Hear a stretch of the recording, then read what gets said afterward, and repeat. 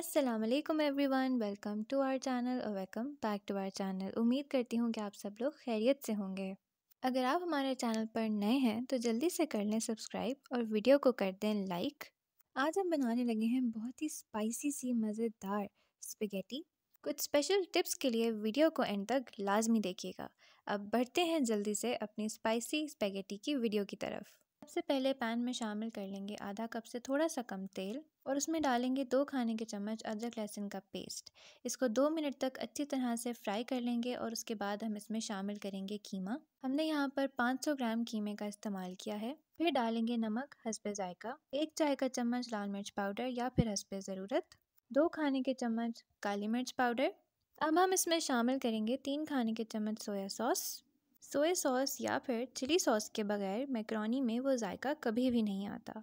इन सब चीज़ों को हम बहुत अच्छी तरह से पहले मिक्स कर लेंगे और उसके बाद हम इसमें शामिल करेंगे तीन खाने के चम्मच चिली सॉस। उसके बाद हम इसमें शामिल करेंगे तकरीबन एक कप टोमेटो केचप और उसके बाद हम इसमें डालेंगे आधा कप चिली गार्लिक सॉस।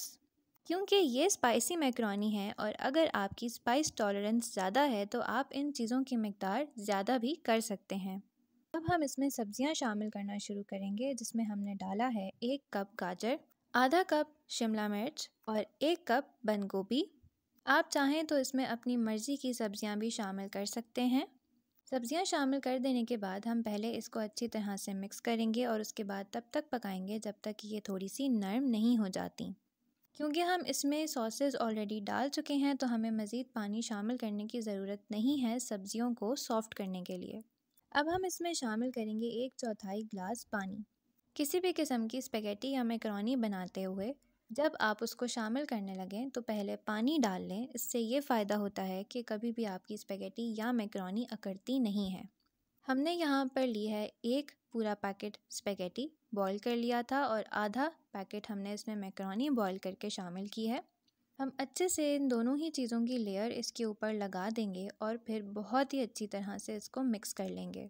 सारे मसाले के साथ स्पेगेटी और मैकरोनी को अच्छी तरह से मिक्स कर देने के बाद हम इसे ढक कर दम पर रख देंगे तकरीबन 10 मिनट के लिए। और यूँ हो जाएगी फटाफट आपकी मज़ेदार स्पाइसी स्पेगेटी तैयार। अगर आपका कुछ स्पाइसी खाने का दिल चाह रहा है पर आप ज़्यादा मेहनत नहीं करना चाहते तो ये आपकी गो टू डिश होगी। बच्चों के लंच बॉक्स के लिए भी ये एक बेहतरीन आइडिया है।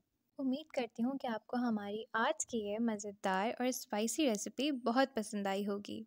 वीडियो को लाइक करें, दोस्तों अहबाबों के साथ शेयर करें। मिलते हैं एक छोटी सी ब्रेक के बाद। अल्लाह हाफिज़।